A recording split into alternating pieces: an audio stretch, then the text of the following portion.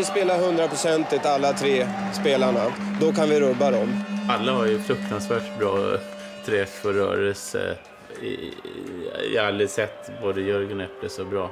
Väldigt positiva grejer hela tiden som kommer upp då. Otrolig glädje liksom. Spellust. Fantasin bara flödade, kunde allt.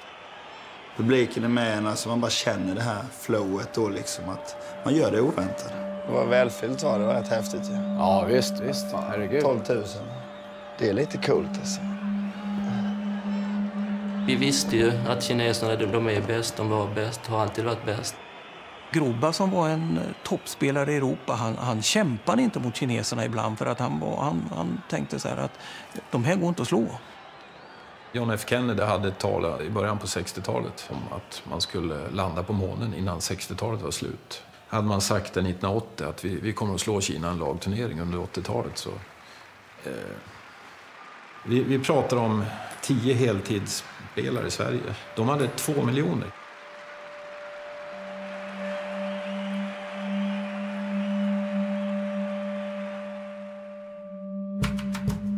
Bordtennis är Kinas nationalsport. De senaste 50 åren har man dominerat pingisvärlden stort. På herrsidan har under den tiden bara tre andra länder lyckats bli världsmästare i lag.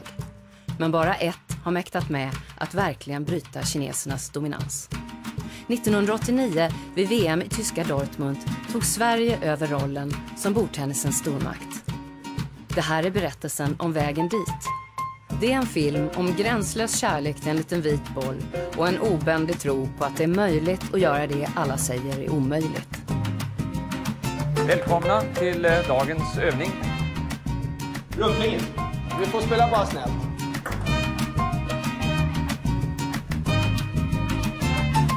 De får inte spela i vit eller ljus tävlingsdräkt.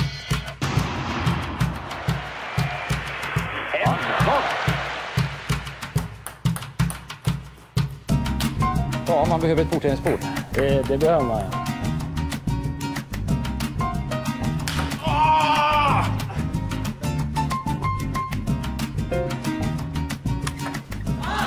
Eller tre bollar kommer så här snabbt emot oss och det är de vi måste klara.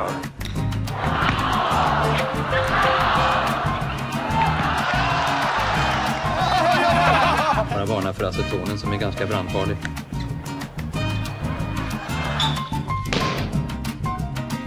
Där ute vill jag ha han mot kineserna. Och då kommer bollen att gå...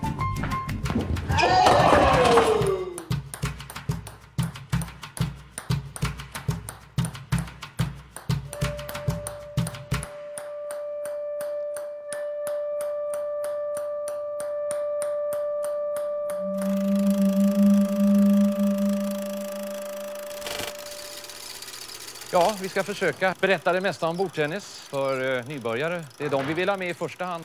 Det. Vi hade haft några magra år då på mitten på 70-talet. Eh, Stellan Bengtsson började bli lite till åren, Kjell Johansson hade slutat. Så förbundet gjorde en satsning på, på, på ungdomen då, att man skulle få mer fokus från tränarna på, på eh, ungdomarna. 1980 var ju en brytpunkt. Kina bjöd in några svenska ungdomar till att komma dit och träna med några av de bästa kinesiska ungdomarna. Jag, jag minns ett möte där Bosse Persson, Anders Johansson, Kjell och jag diskuterade. Kina är ju så duktiga och det, vad kan vi lära där? Så eh, någonstans i det här rummet så börjar man tänka hur, hur ska vi göra för att slå kineserna? Och vi, till slut utmynnar i att vi måste absolut skicka dit eh, ett par spelare.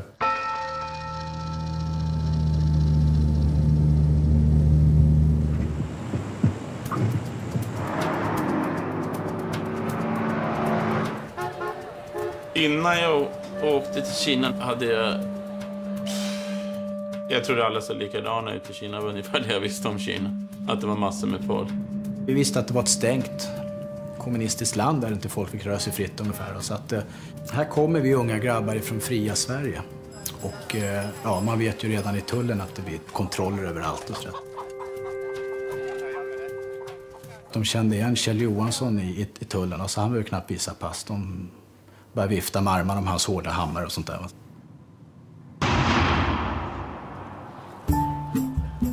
De var lite små, både nervös men så är fram emot eh, något oerhört liksom. För att det var också det att jag skulle precis börja sista året i nian då. Så liksom jag började med att vara borta en månad från skolan så det hade varit lite liv om det där då. Några lärare sa till ta med lite böcker och sådär. Men det blev faktiskt aldrig några böcker. Jag tog inte med någonting. Vi tränade då med, i samma hall i nästan fem veckor. Och så hade vi en kinesisk eh, tränare. Så han gjorde en bedömning av styrkor och svaghet och efteråt hade vi en lång genomgång hur han såg på spelet. En gång kommer jag ihåg, man kan tro att det var massa jultomtar och sånt som kom in med säckar på ryggen. Men i säckarna fanns det massor av bollar. Flera tusentals bollar. De la ut bollarna på, på golvet. Det var helt vitt. Jag tänkte, eh, hur ska de överhuvudtaget få upp de här bollarna? Men det skulle då användas i träningssyfte där tränaren står vid ena sidan och spelaren står vid andra sidan och bara matar de här bollarna hela, hela tiden. Det hade vi aldrig sett i Sverige. Oerhört jobbigt var det. För då hade vi bollkallar också som bara samlade upp bollarna hela tiden. Så de bara fyllde på. Det var en sån här jättekorg, kommer man ihåg. Liksom, det kanske var en 200 bollar. Va?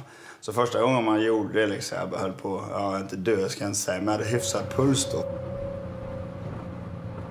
I början var man helt knäckt. Alltså, så första fyra, fem dagarna var man nästan förstörd. Då gick man ju bara på att man var envis. Man var liksom nära att kliva av.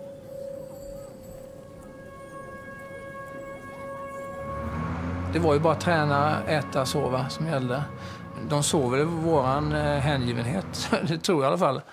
Eh, man ville bara köra mer, spela mer och träna mer. Liksom det, var ju, det var ju som ett paradis på något sätt när man eh, fick träna fem sex timmar om dagen.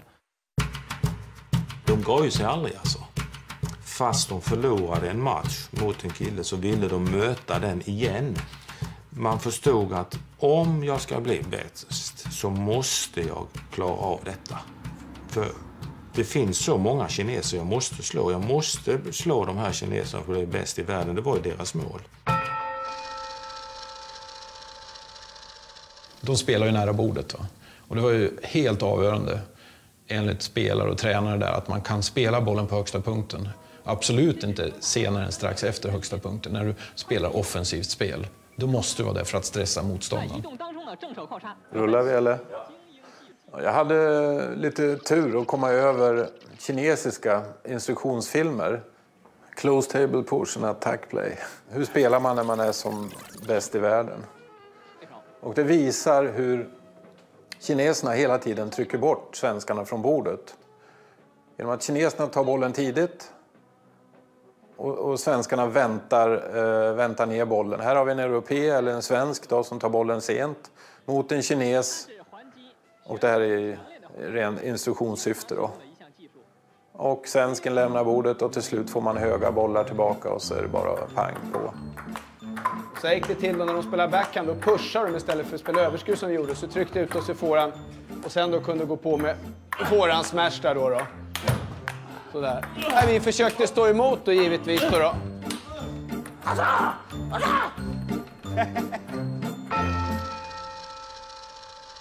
Jaha, god middag och välkomna till Europamästerskapen i bordtennis. Och här håller jag tusen mot ett på att det blir svensk seger i herrsingel. Det var väl kanske inte en jätteskräll för jag hade vunnit, jag hade vunnit topp 12 två månader innan. Så jag var ju semisida faktiskt och rankad tre i Europa då. Men JO var ju totalt osida då. hade inte spelat så mycket utomlands. Det här är en knallsensation ute i Europa om Waldner skulle vinna. Det är inte många som... Innan kvartsfinalerna som skulle spelas på söndag morgon. Men det här är alltså lördag kväll. Då springer JO fram till Stellan Bengtssons rum för de ska mötas i kvarten och knacka på. Stellan öppnar rummet liksom och JO säger imorgon ska jag slå Stellan. Liksom sådär. Så springer han bara iväg ungefär, jag är bara 16 år. Va? Jag tror att Stellan tog det bra för han, var, han kunde också skratta. Va? I semifinalen så möter Janne Klampar och jag möter eh, Gergely. Så det är liksom Sverige mot Ungern då i Budapest. Och eh, Janne var klar före mig och På något sätt så, så ser jag hur, Janne tittar på mig lite grann så här och liksom och, så där ungefär liksom va.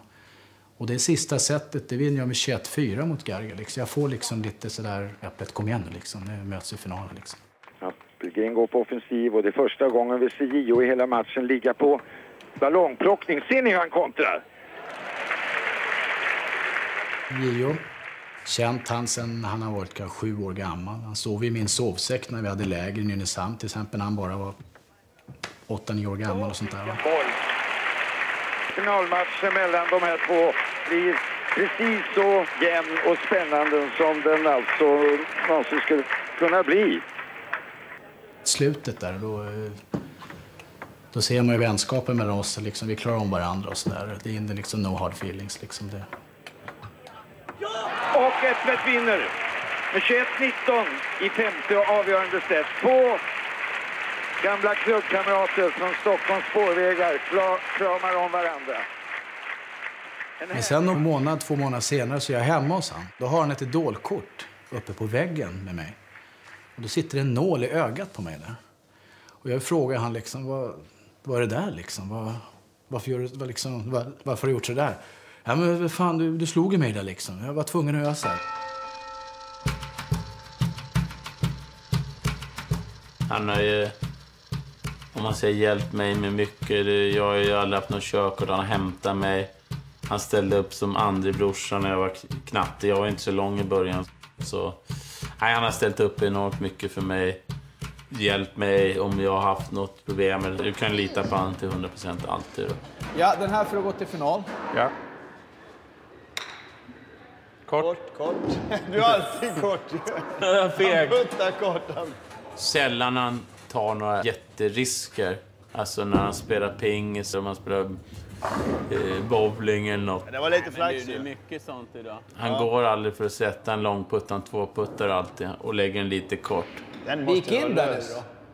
Den måste vara lös. Men vi såg nog upp bägge till Äpplet, liksom, att han var liksom den här farsan. Det var inte han man sa emot. Liksom, och Vi sådär. är i final då. Ja. Så därför blev det ju att han, liksom, om man såg upp då, ah, han har nog rätt eller sådär. Va? Men det visar ju sen att han hade inte alltid rätt. Alltså. Vi snackade om sovställningar. Och då var det liksom att, ja, kom in på det här att vi, ja, sover man i, på rygg så är man väldigt osäker och sådär va. Men sover man i fosterställningen, då är man väldigt trygg. Ja, ja, så jag tänkte inte mer, ja det stämde ju säkert, Äpplet hade sagt det liksom. Så man vågar man inte säga emot liksom sådär. Sen satt jag på flyget en gång, så var det då söndagsbilagan, var det en tidning, och så var det just om sovställningar. Och jag liksom satt där och tänkte, jag måste ju kolla då, jag började bläddra där då liksom. Så ser man då, Sover man i fosterställning, då är man en otrygg person. Och liksom allt tvärt emot vad Äpplet hade sagt. Och ligger man på rygg, som jag alltid sov då, liksom, då är man väldigt trygg och självsäker i sig själv. Liksom. Så det var precis tvärtom. Liksom. Så jag, jag sparade faktiskt det bladet och tog med det till Äpplet sen. Men det stämmer inte, så. Men det, det, jag hade ju bevis på det då. Du gör lite med, sätta på lite levande ljus och sådär. Ja. Jag tror det är första gången vi lagar mat. Ja. Det är, som, det är som den här, vad heter det, tyska maten du vet om du får på mackor. De är den här röda. Ja, det, Du det kommer ihåg den med gurka och det här Det är läskiga? Frankrike också. Ja, vad heter de där? Eh, vet du vilka det är, Mark? Ja. Vad heter de? Gör, gör de små som fan. Ja, men jag håller ju på för fan att hacka i... Vet du vad de heter då? Men vet du vad? Janne kan ju faktiskt duka fram ju. Ja. Janne, Bestick. och... Där är tallrikar. Ja. Hur många är vi? De här tallrikarna tar du först. får du faktiskt räkna ut själv hur många det är. Ja, men... Så gör man alltid extra, kan man frysa in. Ja, men Ja, det, det- lär nog inte bli mycket över idag alltså. Ja, är du hungrig nu igen? Jag ska ja. se det där. Fan, du käkar ju två burgare nu. Här är fina glas där. Ja. Ja, det här Äldsta är... bryggeriet i världen kommer det. Ta på våran lega. Skål! Det var bättre förr. Stellan slår snett och ibland i sådana snäva vinklar att Generation på generation blev överlappade. Stellan kom, konkurrerade ut Kjell och och Hasse. Och sen kom eran med, med Äpplet och Gio och Jörgen alla de här och konkurrerade ut Stellan. Det var inte det att Stellan slutade så blev det ett glapp. Att de fick en gratis chans men de konkurrerade verkligen ut honom.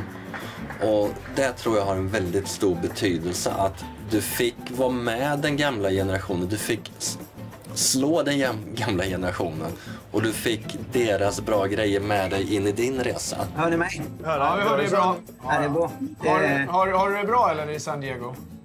Ja, det, vädret är lite emot faktiskt. okay. Ja, Stellan, när du varit världsmästare första gången 71, då satt jag hemma i eh, vardagsrummet på Torkel Knutssonsgatan, Mariatorget och såg dig vinna faktiskt. Sedermera fick jag ett, ett Stellan Bengtsson Mark 5-rack av min far i julklapp också, och ett pingisbord. Va? Men det var enormt stort. Det var där pingisen liksom kom in. Det var ju, tog fart kan man ju säga. Va? Riktig fart ju. Alla spelade ju pingis, och på arbetsplatser och i skola. Välkomna till eh, femte omgången. Och klubbar som har lyckats skaffa sig en egen spelhall. Det var lugnt tempo så ja. Man byggde ju under de här åren väldigt mycket nya bostäder och överallt så fanns det egentligen ett pingisrum i källaren eller någon annanstans. Så det är klart, ur det växte en, en bredd fram. Och sen var vi ju så pass lyckligt eh, lottade att vi hade en, en skaplig organisation för att kunna eh, spåra talangerna. Så med det lilla underlaget vi hade så tror jag nog att varenda spelare som eh, var en talang, den kunde man ta hand om.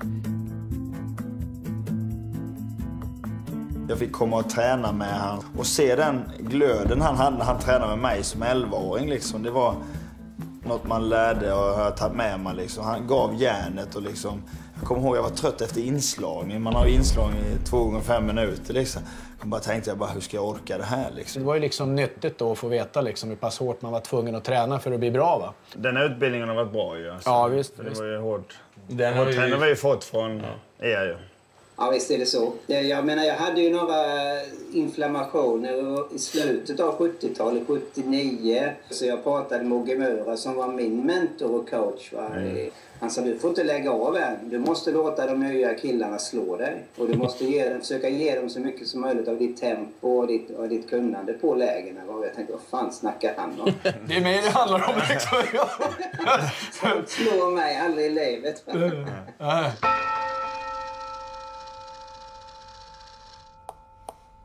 Säsongen 83, då hade vi 107 lägerdagar tillsammans. Plus individuella träningar här på hemmaplan, plus deras ligaspel, plus internationella tävlingar. Då började vi träna då kvart, kvart över nio till, till klockan tolv. Eh, alltså väldigt mycket tuffa fotarbetsövningar, så speciellt på morgonen. Då. Sen var det ofta lite styrketräning efter det. Då var det lunch. På eftermiddagen så var det mycket med momentövningar och lite matcher och sånt där. Sen efter det så var det ju löpning ofta. Det kunde varit 7-8 kilometer eller det här 15-15 eller idioten och sånt där. Och det var ju psykiskt knäckande. Tränaren stod och räknade ner där 89, 88 så där var jobbet. Han kan nöta på sina servar flera timmar om dagen. Våra spelare utvecklades oerhört snabbt och eh, då börjar man väl tänka lite att kanske att vi kan slå Kina.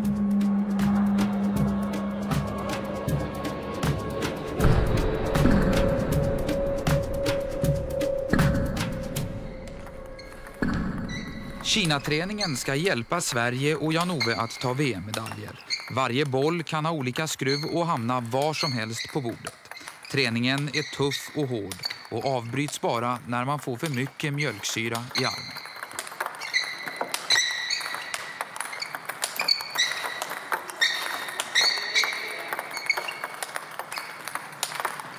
Jag tycker att Jan-Ove är den som genomgående under säsongen har varit bäst.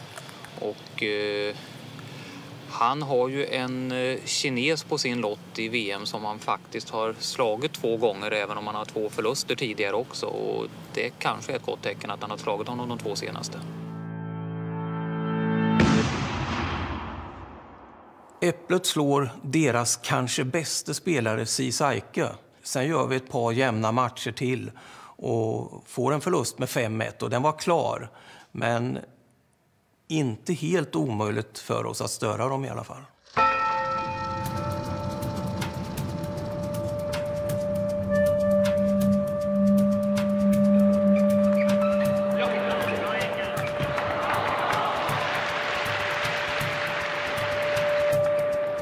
Styrkan med det gänget var ju att vi hade väldigt höga mål. Och jag tror att, liksom, att istället för att lägga sig ner och dö eller inte ta upp kampen så tog vi verkligen upp kampen. Vi ville liksom möta dem ofta, få någonting med oss varje gång vi mötte dem eller vi, vi var där och tränade eller spelade, fick någonting med oss. Jörgen, söker igen. Kom igen. Måste variera med lös öppning mot honom ibland, ibland hårt. Försök dra lite lösare på första. Du får sån hård retur tillbaka.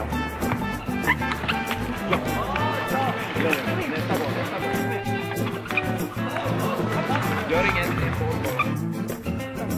Kom igen nu, tänk framåt. Flytta serven.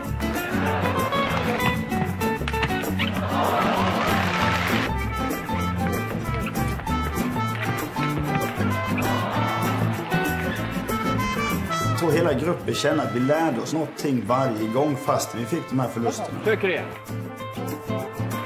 Tickan ska serva mera mot backen också. Pröva i alla fall.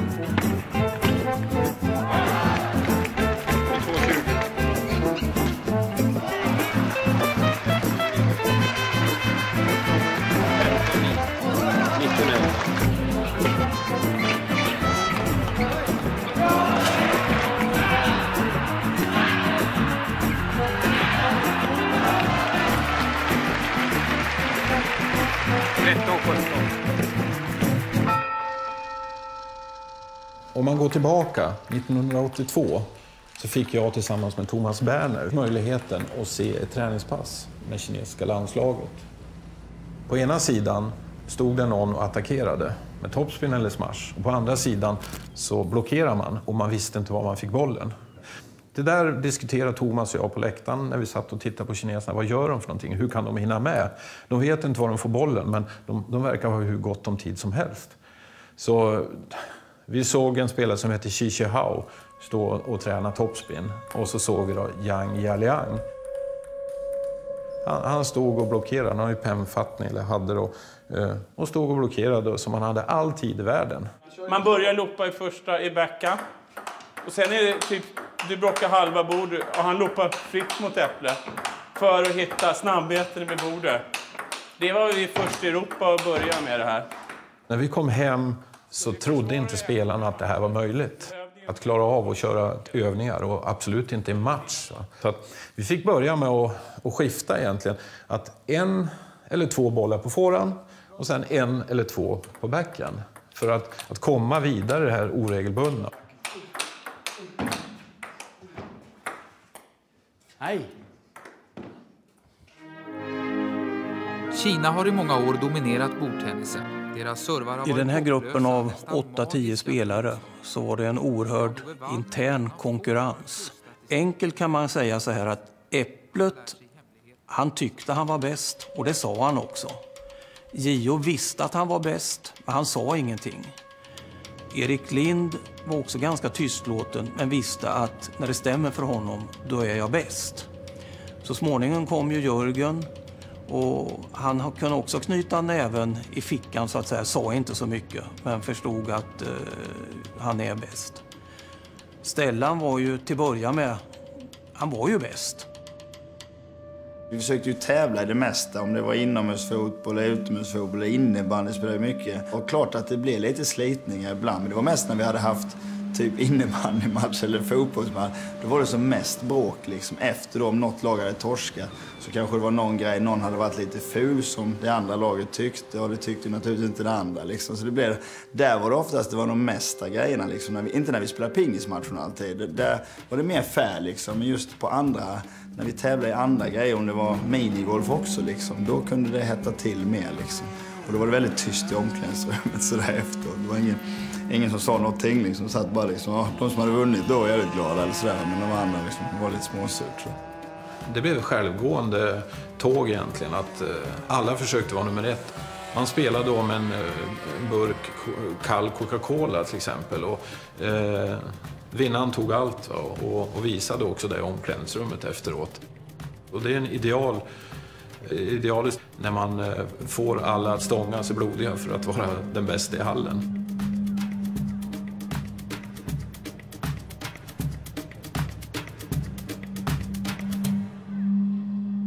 VM i Göteborg 1985 blev ju ett något slags examensprov för den här generationen.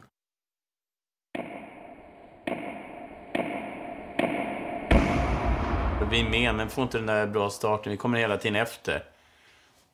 Och möta Kina när de leder 2-0 eller 3-0. Det är nog det värsta man kan uppleva liksom inom vår idrott. Då.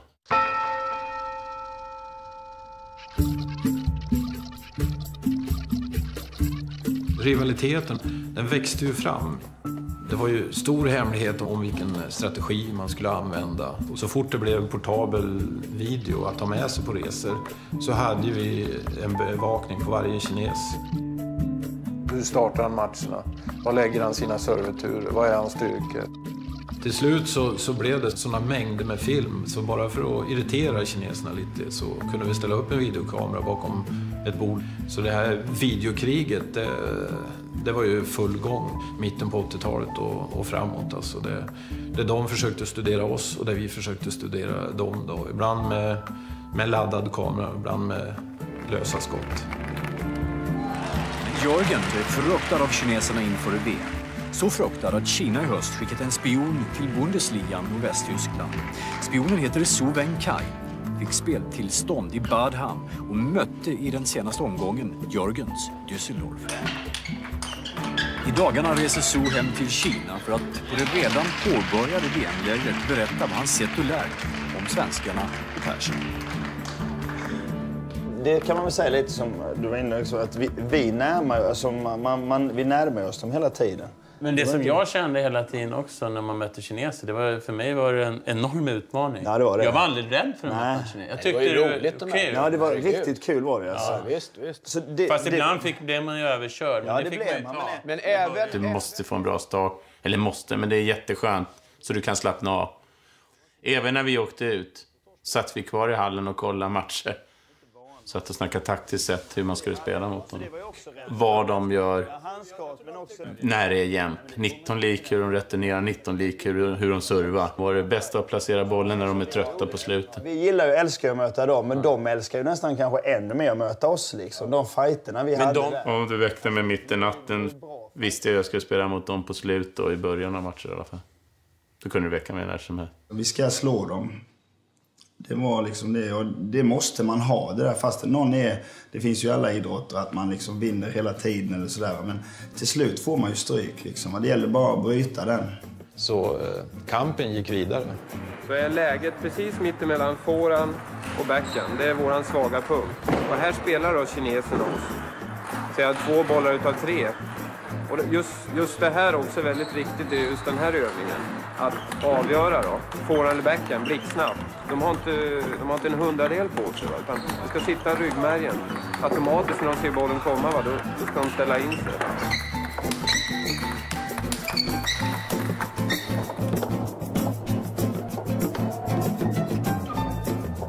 Det som är sköna med pingisen är ju att du kan komma ner och träna.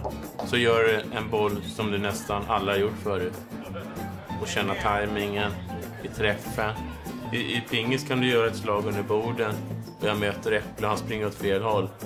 Och vi har tränat 104 år tillsammans. Och han kan göra samma grej på mig. Tackar.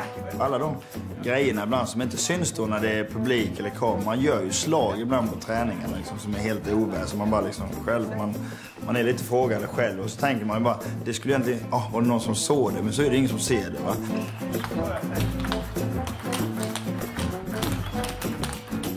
Lycka, det är när det går liksom i ett. Och liksom att det är samklang mellan två idrottsmän som ändå är med på blodigt allvar. Det är bra pingis, det tycker jag är roligast faktiskt. Det är roligare än att, liksom, att vinna en lätt match.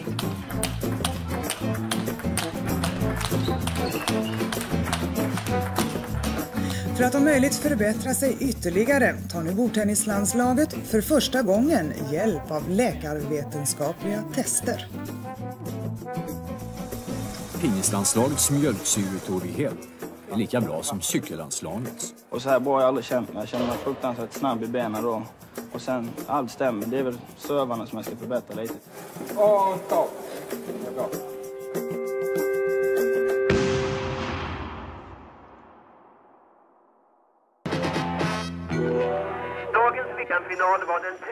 i rad mellan Sverige och Kina. Sammanlagt har Sverige bara tagit en enda match i dessa tre finaler.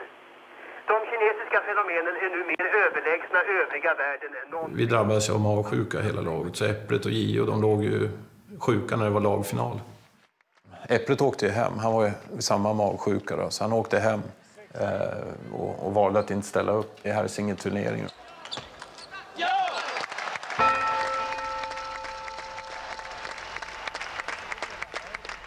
Gio har i matchen innan slagit ut Chen Long Kan och här möter han Teng Yi i semifinal.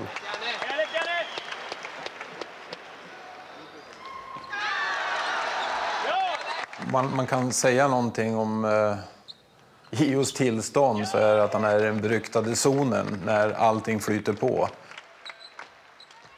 Jag hade gått ner 6, 7, 8 kilon och så här också. Och det var just då det kom, för jag hade ingen press på mig att bara spela ut, som jag spelar på träning. Ja! Bra Janne! Ja! Bra Janne! Ja!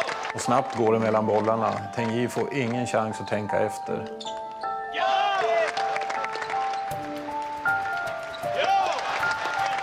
Vad är det som händer? Alla bollar som jag spelar är möjliga att nå. Det spelar ingen roll om man spelar med i backhand eller fora. Jag, jag kan avgöra bollen på, på vilket slag jag vill. Kunde med tio kineser i rad, jag hade slagit tio, tio med 3-0, liksom, den känslan man får.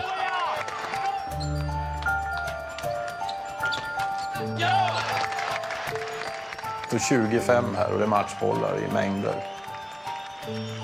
Frågan är om Teng Yi har blivit så utspelad någon gång.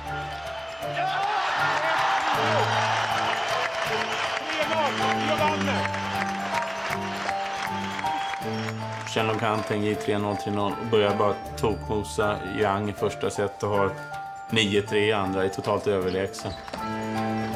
Det flyt i spelet som man har haft i, i kvart och semi, det bara fortsätter alltså.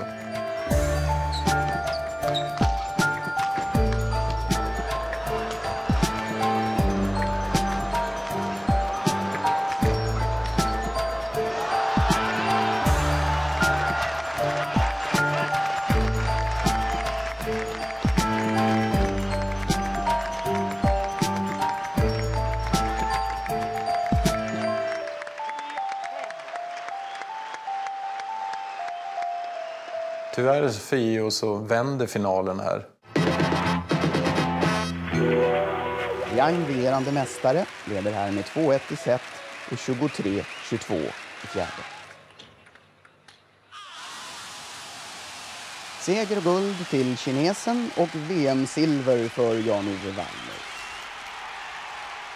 Men då kommer jag upp helt plötsligt mot en som är riktigt mentalt stark, som har varit där förut. Och, och kanske jobbar ner mig mentalt då lite. Och även, det är lite lik i den matchen, Äpplets match 82.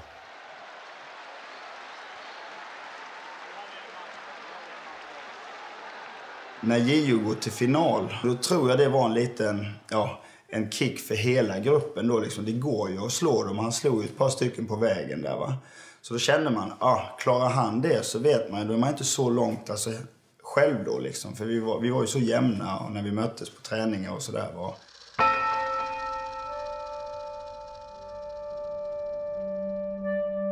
En tre och en halv månad lång uppbyggnadsperiod pågår just nu. Varje vecka ska Wallner, Persson och de andra underkasta kroppen sex timmars styrketräning, förutom all övrig pingsträning. Förbundskaptenen Glenn Öst fick idén på VM i Indien i våras när han såg Wallner på grund av sjukdom först tappa fyra kilo för att sedan bli betydligt snabbare. Han blev helt plötsligt mycket rörligare. Han kunde jobba mer med fåran. Och det, när han har sin normala vikt nu, då måste han alltså vara mycket starkare i benen. För att bli lika rörlig? Ja. Ja, du är 50 kilo på stången, men i oktober ska du ha 100 kilo. Det ska nog gå. Den träningsverken är svår att beskriva. Alltså, vi, trodde, vi trodde hela gänget var skadat liksom. Vi hade bara träningsverk. Eh, Jörgen Gio kör en grupp tillsammans med Lars. Sen kom det ytterligare ett steg. Att få både forehand och backhand eh, att, att spela som ett topspin då, och att ta bollen tidigt. Vi pratar lagfinal 83, 85, 87. Man spelade topspin med forehand och sen när man skulle spela backhand så då vek man ner sig och höll inte, behöll inte trycket. För det var väldigt svårt då, mot de bollar man fick mot Kina speciellt. Som kom lite grann underskruvat från deras nabbarna utåt gummin då. Så det var en tung boll som man fick lyfta upp.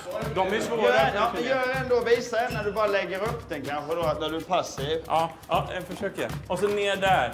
Sen när jag blir passiv där, då är det fara. Så. Ja, ja. Ja, ja. ja. Ja, ja. Nu gick vi över och spelade överskruvad backhand tillbaks då. Och kunde stå framme. Så de kom under tidspress. Och även börja trycka backhandspelare så de fick röra sig. Helheten var ju det att vi, att vi blev mer aggressiva.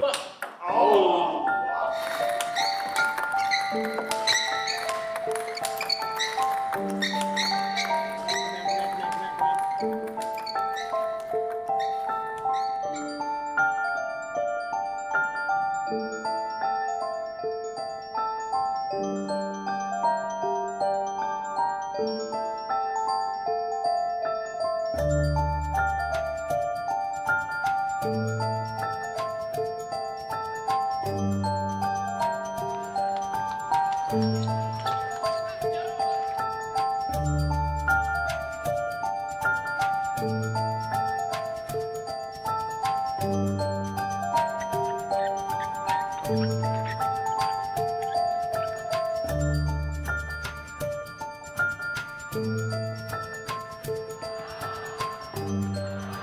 kändes i gruppen liksom att det var på väg allihopa här. Liksom att det vann turneringar. Erik Lind vann där, Jörgen vann där, jag vann där. Det ultimata laget, det, det hade jag ansvaret för 1989 i Dortmund. De här gjorde precis allt eh, som var möjligt, lite till. Man behövde inte lägga någon energi på att rätta till någonting sånt. Det var, det var på plats. Sverige är en stormakt i bordtennis. Bäst i Europa, tvåa i världen efter Kina. Kanske styrketräningen det som behövs för att de svenska landslagsspelarna ska kunna rubba kineserna. Men när?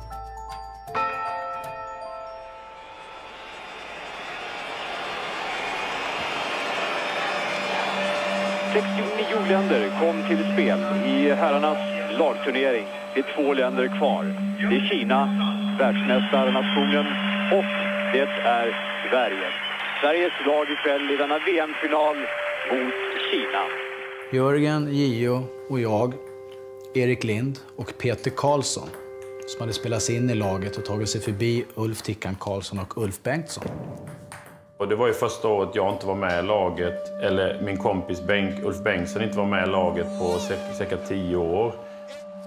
Det var ju tungt och tufft. Och sen vet jag ju då också att eh, inom de fem som spelade i laget så var det också en jävla fight om vem som skulle spela eftersom det var tre som spelade i, i lagmatcherna. Och... Det var liksom sån här lite Hitchcock-stämning då, för då satt vi på hotellrummet. Litet rum, satt fem spelare. Alla ville spela liksom. Man söker inte så mycket ögonkontakt med varandra liksom. Och så kom det ju då laguttagningen då liksom. Jag ville att, ofta var det ett namn i taget och det var liksom inte att det kom tre på sådär liksom att, ja, Gio, du ska spela liksom. Ja, så, ja, så tänkte jag, okej, okay. det var det två platser kvar liksom.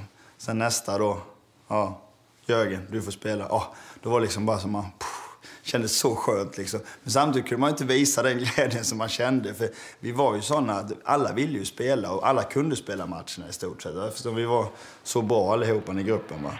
Sveriges lag ikväll i denna VM-final mot Kina. Appelgren, Persson och Wallner. Men i det här läget så har jag valt bort Erik Lind då. Det var jag ju givetvis på ett sätt lite besviken, för, men det var ju på mig själv. Det var inte på någon annan, inte någon ledare eller de andra spelarna på något sätt. Så vi hade fyra spelare bland de tio i världen. Jag var femma, rankad femma till det mästerskapet. Alltså jag var and, svensk in i mästerskapet, men spelade inte lagfinalen bland de tre. Då. Så hårt var det. Och det, det var ju jättebra. Det fanns inget bättre än att, eh, att vi hade ett brett lag som, med många spelare som kunde vinna och att man fightades om de här platserna hela tiden. Och frågan är om de här tre kan äntligen riva den kinesiska muren. De tror ju att vi ska börja med JO, som är de, de tycker är det farligaste vapnet vi har. Och jag tar fram mitt lokomotiv, vilket är Äpplet, i första matchen. Eh, Så de vet inte. Så jag vet också att de ställer upp Yang Yaliang i första matchen, som är världsmästare, två raka VM-titlar 85 och 87. Det är jag helt säker på. Glenn hade ju då en liten, en, ja, en liten variant då, vad han tyckte var bra. Han hade med sig plakat, så han stod och ritade så här, då uppställning A, B, C och så där. Och så, så skrev han öppet, du börjar där liksom och sånt där. Du kommer möta en allians, så här ställer de upp ungefär. Så han, Det känns väldigt, väldigt skönt att lura de här smarta kineserna som jag har liksom avgudat i ett helt decennium egentligen och, och lura dem redan i lottningen. Erster Satz, 0-0, Appelgren.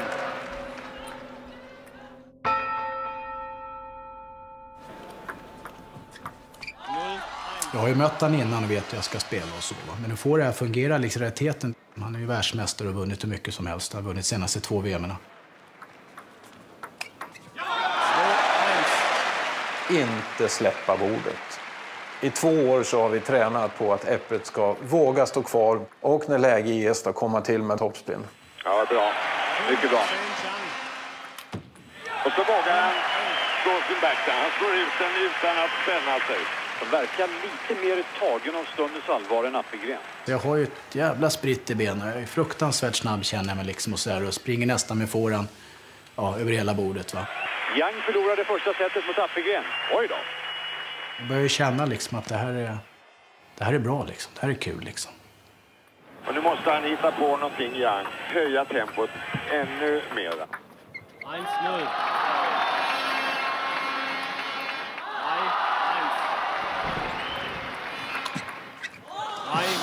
Oj, vilken jävla fråga. Fan vad vass han är. Det är en bra grej när det var jämnt. Det var det som var hans storhet också. Oj, så han var ju bra i de lägena. Han vågar ju alltid. Ja, han Så- torskar ju sällan när det var jämnt. Ja. Är den där rakt den där fåran eller? Ja. Aj. Tycker att Appelgren tvingas ifrån bordet nu. Allt oftare, allt mer. Nu börjar han med sin Ja, det börjar med sin och- och oss, 87 ja. boots. Ja, Kommer du ihåg det? Ja, fick man. Han, går, han, går, han går ner till våran är bänk. elva så här. lika, är det? Det är elva lika i ja, han, han går ner till vår bänk och håller på så Ja, det är det alltså. han gör. Det. Jag måste ju verkligen ja, få mitt spel att fungera. Backhandspel för Appelgren. Utsökt. Äpplet har att brottas med gamla demoner. Alltså, jag ser att han är på väg att sticka från bordet och så kommer han på att nej, jag ska hålla bordet. Jag ska hålla bordet. Bombarderade i sin backhand. Då stod han där och drog den. Uppåt och uppåt. Överskruv tillbaka. Jag kan spela ut, jag behöver inte vara rädd för någonting. För om jag förlorar så kommer nästa värstinggubbe bakom mig. Då blir du mycket friare som en idrottsman och du får inte vara låst som idrottsman. Du måste känna dig fri när du går in i hagen. Liksom så att du kan göra alla de här grejerna. Du får inte låsa systemet, det går inte.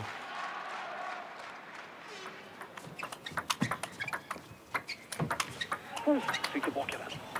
Ja, men inte det. Det är suveränt spel. So, jetzt Matchbälle för den Schweden. Och han slår en serve i nät. Och Sverige har tagit ledningen. Det är inga som går och säger fan den här, vi vinner den, nu har vi 2-0. Men alla visste att det var en bra match. Aj. Måste sätta lägena mot den kinesen för att ha chans att vinna. Jag förstår inte att han inte får in den bollen. Och så gör man inte det, man får helt fel in i matchen igen. Åh. Vi är där igen. Och jag tror nog att jag sitter och skriker lite grann på bänken här. Gio håller vid bordet. Sen leder jag 2015, 2016 och andra upp till 2019 men jag har en riktigt, riktigt bra boll.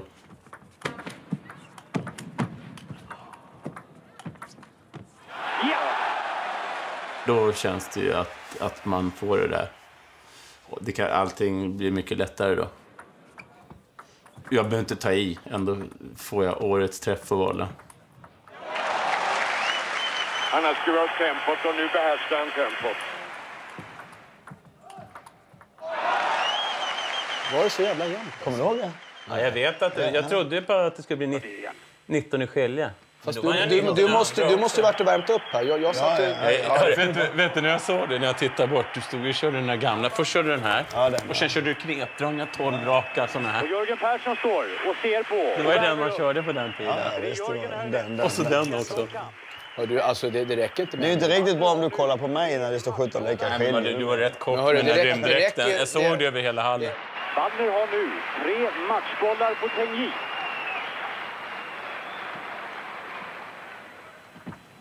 Ja! Och äntligen! Ska alltid förlora de jämna matcherna. Jag ville verkligen utnyttja den fina starten som Äpplet och Gio hade gett oss då.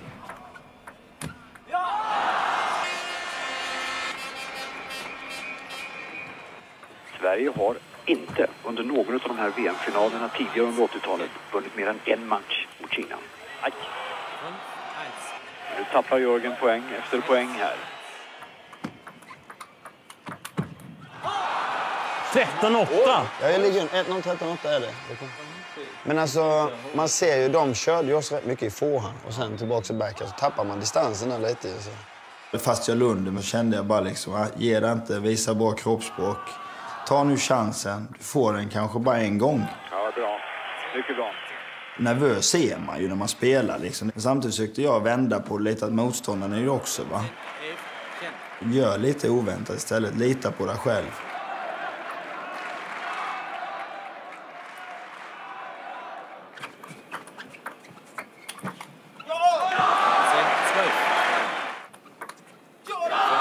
Där känns stillastående. Där hoppade forehand ger poäng. Jag kände helt plötsligt att ah, nu är det han som missar, jag får lite enklare. Åh, oh, vad fräckt. Oj, nu, nu börjar jogga igång. Nu börjar jogga här. Han blev ju stressad där faktiskt, visst. kommer jag ihåg. Det var det som var lite, alltså, han hade ju 14-8 så jag kom ju ikapp rätt snabbt där. Sen var han, och så har vi 2-0 i matchen. Also ein Satzball für Pers.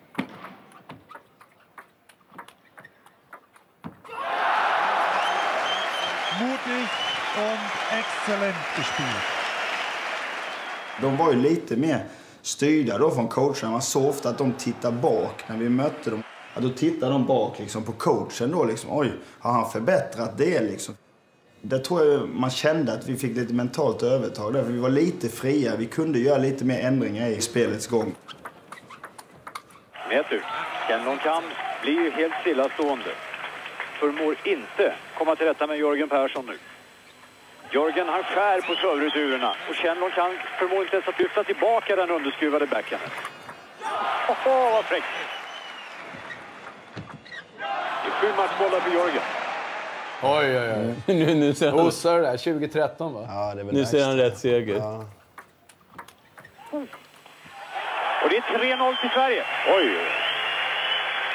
22, 24, 21, 19, 21, 13. 3-0. På något sätt så känns det som matchen är klar. För vi alla vi tre har vunnit. Det är jättefarligt alltså. Och just då kommer min match som för mig är kanske den viktigaste matchen när jag var så nära för två år sedan och slå honom. redan då. Men då börjar han ställa till scener och grejer. Young vägrar fortsätta spela. Det verkar ju nästan som Young vill byta ut domarna. Det här är VM, tävlingarnas största skandal. Det är ju början på skiljesättet och eh, det Young i backhandserven går under bordet med racketen. Där är han nere under bordet. Och det här vägrar Young att acceptera.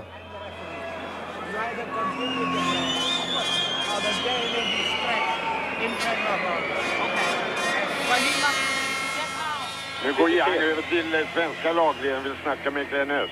Han kommer fram till mig, till lagledarbänken och förklarar att jag är världsmästare. Och jag kan ju inte serva fel, eller hur Glenn? säger han. Och naturligtvis håller jag inte med honom. Och försöker bara ignorera honom och tar upp en banan och, och börjar käka lite grann. Han har ju uppträtt illa här. väldigt illa Ja, egentligen. nästan som när McEnroe var i hög form. If you give him one chance more 5-8 and then we come back, it's okay? Ska Wallner gå in och medla här nu?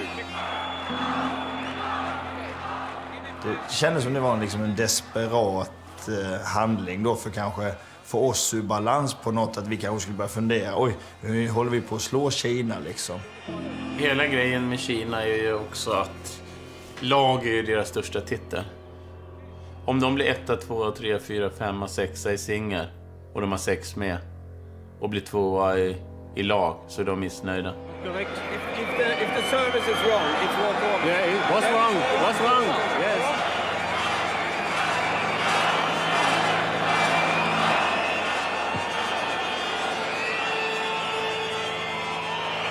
Vi har nu haft ett avbrott på 12 minuter.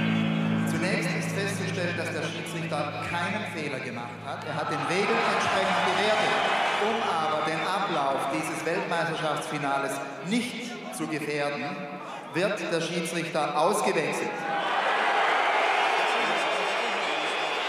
Es war nicht absolut sichergestellt, dass der Weltmeister überhaupt weiterspielt, wenn der vorherige Schiedsrichter noch am Tisch bleibt. Diese Entscheidung fiel einzig und allein in Ihrem Interesse, meine Damen und Herren, und im Interesse des Sports, denn wir wollen hier einen Weltmeister ausspielen und nicht am grünen Tisch entschieden wissen. 5-9. Det har sett illa ut. Och vad händer? Nu får han publiken emot sig i ännu högre grad. Han kände nog också att det var hans sista chans att vara med och, och åstadkomma något för, för Kina överhuvudtaget. Då.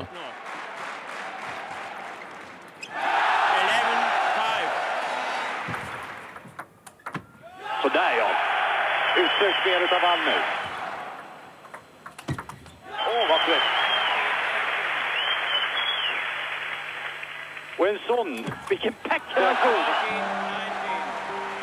Det är fem matchbollar. Jag tackar jag.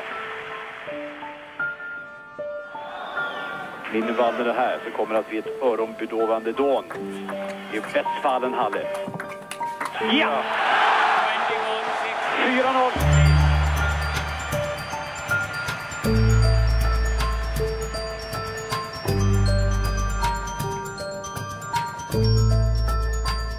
Bara att gå in för mig och defilera helt enkelt.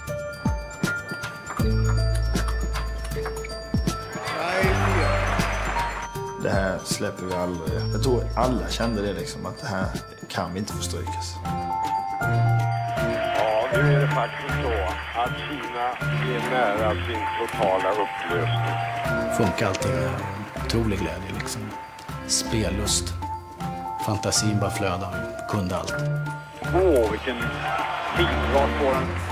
Det är ju det här liksom, allt slit. Vi trodde ju på det liksom, men när man då uppnår det liksom, den känslan är helt underbar liksom. 17-14 Kappelgren. Ja, den är sönder nu, den kinesiska muren. Ja. Stort hål i den. 18-15. Det är 19-15 och Sverige två futtiga poäng ifrån VM-titeln i bordtennis. Det är matchboll och det är matchbollar till ett antal av fem. Vi är på väg att skriva svensk idrottshistoria och världshistoria. För Appelgren och för Sverige.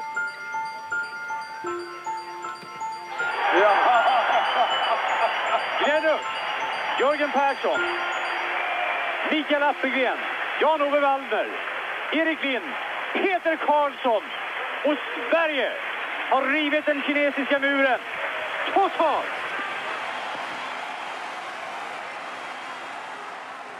Glädjen, det är ju när vi vinner tillsammans. Det är den största glädjen vi har. Kul att vinna singelturneringar också, men, men den största glädjen är ju liksom att vi kan vinna tillsammans. Vi har gjort någonting tillsammans. Vi har tränat ihop alla dessa timmar på massa träningsläger hit och dit. Och ibland har vi bråkat och det har liksom sådär. Ja.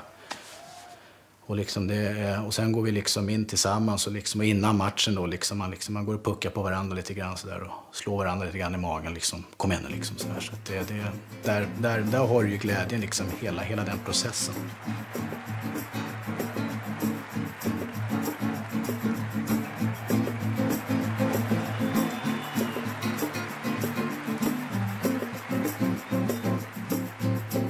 Efter lagsegern i Dortmund vinner Sverige även guld och silver i singel genom Gio och Jörgen. Två år senare tar Sverige storslam genom att vinna lag, singel och dubbel. I singelfinalen möts Gio och Jörgen igen. Men den här gången är det Jörgen som blir världsmästare. Den idrottsprestation ni har utfört, den slår nog alla de andra, inklusive Carola. 1992 blir Gio olympisk mästare i singel och året efter tar Sverige hem lag-VM för tredje gången i följd.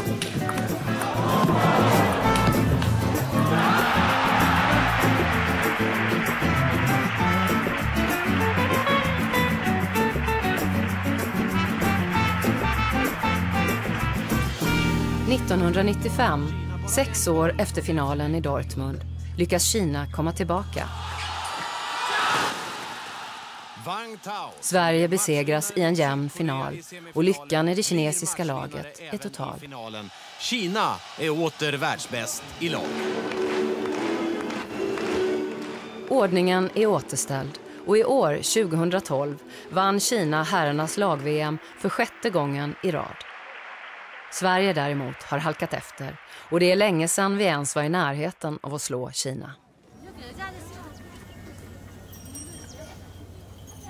Jag tror Kina saknar Sverige. Jag tror Kina saknar en riktig motståndare. Jag, tror de, jag tror de saknar de bataljerna som, som Sverige då hade med Kina under en lång tid.